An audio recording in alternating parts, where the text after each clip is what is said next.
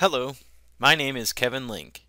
I'm an applications engineer for GoEngineer, and today I'd like to show you how to replace imported bodies in a part file without losing features you've created after importing the model.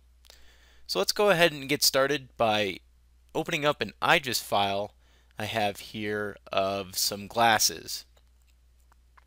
As we import the model, let's use import diagnostics to make sure there aren't any faulty faces. So go ahead and click yes here. Looks like there are a few faces. I'll attempt to heal all and the import diagnostics wizard does a good job of fixing those up. As far as feature recognition, we won't worry about that, so I'll just click no. Taking a look at our model here, um, you know, we can show the edges if we want to see more detail, and we can see that it's made up of several different imported bodies.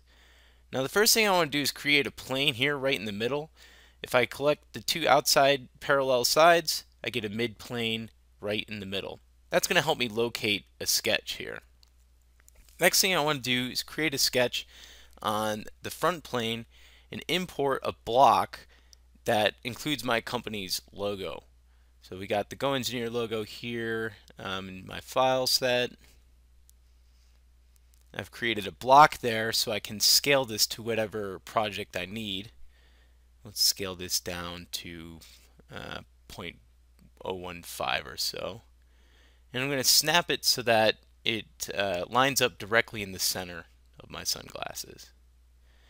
From here I'm going to take my sketch and extrude a cut from the front face.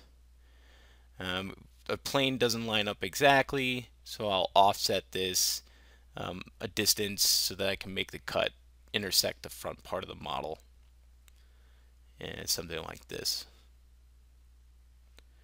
Alright, we'll go ahead and accept that cut and hide this plane here to clean up our graphics area. Now the next thing I want to do is take all these separate solid bodies and actually combine them together to create a single solid body. So after using our combine feature, we check our tree and see we've got one solid body. Now what happens if uh, we have our supplier who's giving us these imported files says we've made a change to the front portion, we actually made it larger. Now when we try to edit the feature, we get a message that uh, changing that could ruin some of the features we've added. We'll browse to the new size, click import, and then we can see that it's replaced that imported feature, but because we edited the import feature in the tree, our other features such as the cut, extrude, and combine were not affected. I hope that was a useful tip for you. Once again, my name is Kevin Lynk. Have a great day.